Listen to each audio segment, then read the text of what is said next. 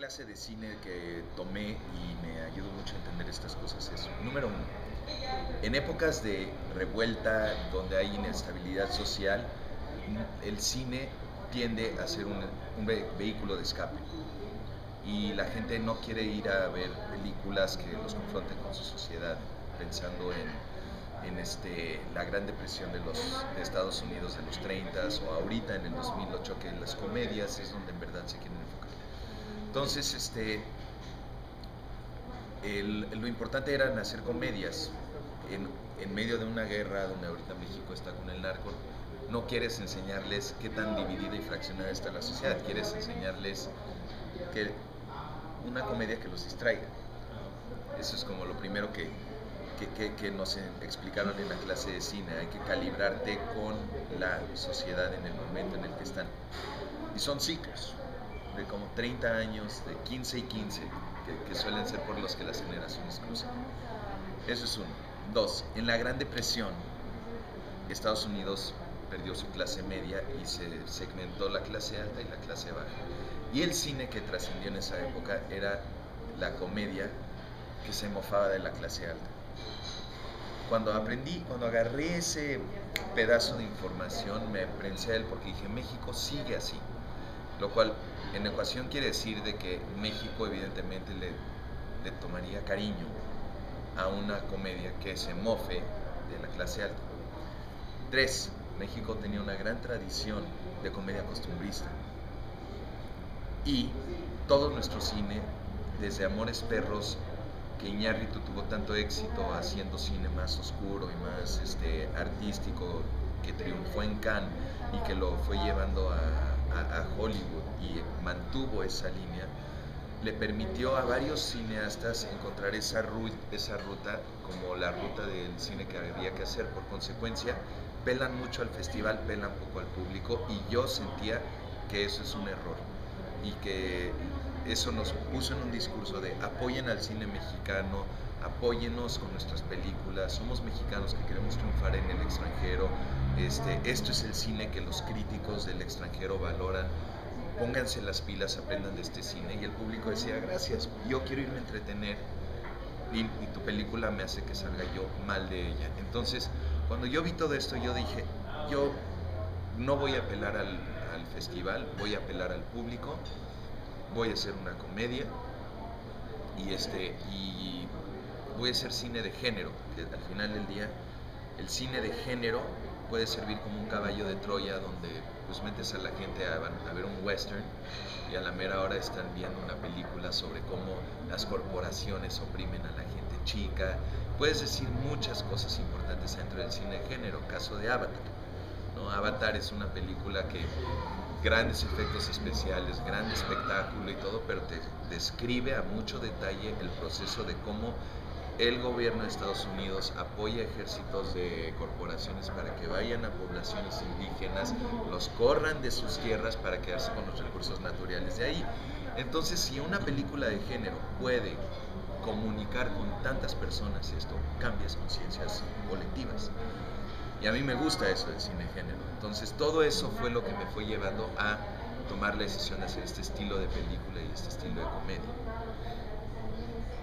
¿Y la historia cómo, cómo surge? Obviamente el personaje del, del rey o, de los juniors que, que, que, que eran en otra época, pues lo vemos cotidianamente. Pero ¿cómo, cómo crear una, una historia de este tipo eh, que tenga tan buen resultado?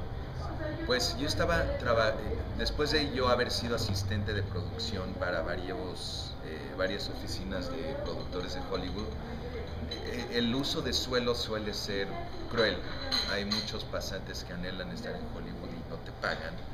Te usan de sirvienta, chofer, ve y tráeme la, la lavandería, acomoda los cajones con mi parafernalia, pon mi colección de DVDs en orden alfabético, este, resérvame boletos, hazme llamadas, eh, tráeme café, haz fotocopias y, todo lo que no esté a su gusto te, van a tratar mal. Entonces, pues me formó a aguantar vara y, ser humilde y callarme la boca y regresé a México para ver que no, existe esta meritocracia en México, es más bien como compadrazgo. Te dan las llaves de la oficina por ser el hijo del dueño de la empresa y, te entrenan para que pues, sigas haciendo lo que tu papá hizo. Pero la sensibilidad de la gente que trabaja en la empresa y que conozca la empresa arriba abajo no es algo que todos los hijos cruzan. Y tu paso de adolescente a adulto se define mucho por cómo te forman en esos años. Entonces sentí de que valía la pena resaltar el hecho de que no todos están cruzando bien. Y ahí es donde empecé a buscar cómo contar esa historia. Pasé por dos diferentes eh, guiones que eran intentos de tocar ese tema que me salieron mal. Y de repente me topé el Gran Calavera y vimos que estaba inspirada en una obra de teatro y Leonardo Simbrón dijo, está increíble adaptar esto, vamos a hacerlo, nada más hay que desarrollarlo porque pues hay que enfocarnos en los hijos, no en los hermanos adultos. Entonces eso fueron pues, dos años de guionismo desarrollando las historias de los mi reyes, la el hipster. Muy bien. Eh, obviamente, eh, detrás de, de, todo esto se ve, se ve tu mano, pero ¿cómo, cómo, decidiste eh, que fueran esos actores y que fueran los correctos? Porque obviamente después de ver la cinta te das cuenta que nadie más pudo haberlos interpretado, pero pues, obviamente tienes una selección muy grande. Hay, muchos actores en México que, que de buena calidad, como decía Juan Pablo, Carlos. Pero, digo, Gonzalo Vega, pues, obviamente ese es su papel, pero ¿cómo, cómo decidiste? ¿Cuál, ¿Cuál fue el proceso creativo de tu parte para, para saber que, que ellos eran los indicados? Blake Edwards decía que la comedia es el comediante más que del director ellos son los que se arriesgan en la pantalla a hacer el ridículo o hacer a la gente reír. Entonces necesitas encontrar a gente que tenga ese instinto cómico, que tenga inteligencia actoral y sensibilidad emocional para poder matizar y calibrar. Originalmente el personaje de Luis Gerardo, Javi, estaba escrito como un gordito inseguro con mucha lana que cubría su inseguridad padroteando. Y Javi y Luis Gerardo me dijo, no hace falta que sea gordito.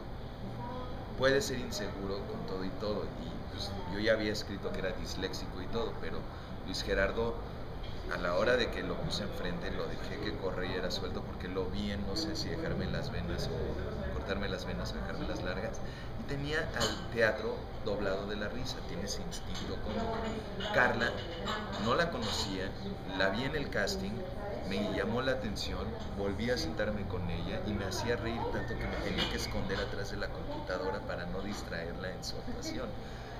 Este, cuando los actores ya pueden hacer eso, no quieres controlarlos, quieres dejarlos que se adueñen del, personaje, quieres escucharlos para que se puedan apropiar del personaje y, y creo que la consecuencia es que tú ahorita sientes que nadie más lo podría haber hecho eso está hermoso porque quiere decir de que le dieron una vida tan, tan, tan tangible a los personajes que así, así se acaba sintiendo, pero en, efecto más bien lo que tienes son ingredientes cómicos que los vas dejando que maduren y gracias a Dios llegaron a este cabo.